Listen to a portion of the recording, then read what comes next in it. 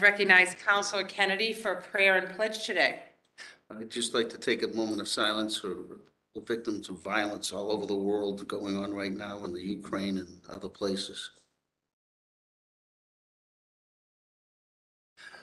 Pledge allegiance. to the flag of The United States of America and to the republic for which it stands, one nation, under God, indivisible, with liberty and justice for all. Okay, I recognize Counselor Jubinville for a motion to record advice and consent for the financial warrant. So ordered, so, so asked, sorry. Second. So ordered, so asked, and seconded. All in favor, say aye. And I recognize Counselor Ferreira for a motion to record advice and consent for the pending list of notaries, public and justices of the peace. So move, Governor. Second. All in favor, say aye. Aye. And I recognize Counselor Hurley for a motion to record advice and consent for the appointment of Janine M. Simonian to the position of Associate Justice of the District Court. So moved. It was a great appointment. Um, she's the first district attorney that's, I think, been before this council, from my area at least, who had six defense attorneys call me on her behalf, urging that she be appointed. Second. Okay, there is a motion and a second. I know Counselor uh, Devaney is not present because she is at a service for a family member who passed. And in her absence, I'm reading a statement that she'd like me to present and have added to the record today. Due to a death in the family, I will be unable to attend the public assembly today. My late husband's brother, James Jim Devaney, died of COVID, and his funeral is today, Wednesday, at Cape Cod. It is devastating to my children and me to lose three of our family to COVID. Although this is a difficult time, I felt an obligation to express my strong support for Janine Simonian, who has been appointed by a as a um, judge in the district court. I met with Janine and attended her hearing. I know the council will vote for this outstanding nominee.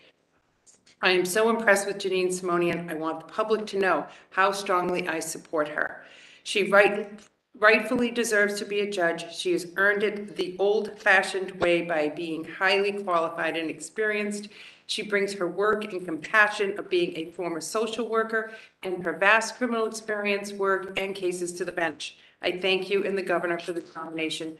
With my sincere regards, Counselor Marilyn Petitto Devaney.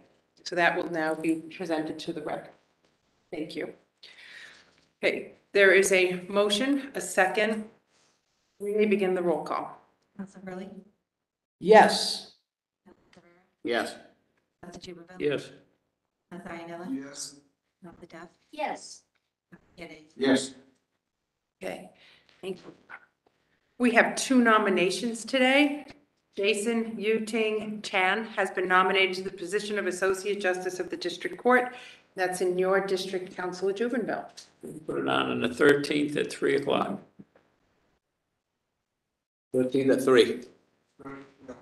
We'll, talk, we'll talk. Explain later, Mary. We did, we had a conversation a little while ago. I just didn't hear. Okay? Very good. July 13th.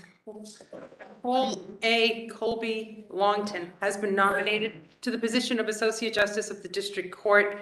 This is in Councilor DePalo's district, and he will be in touch with Attorney Longton to determine a time for the hearing.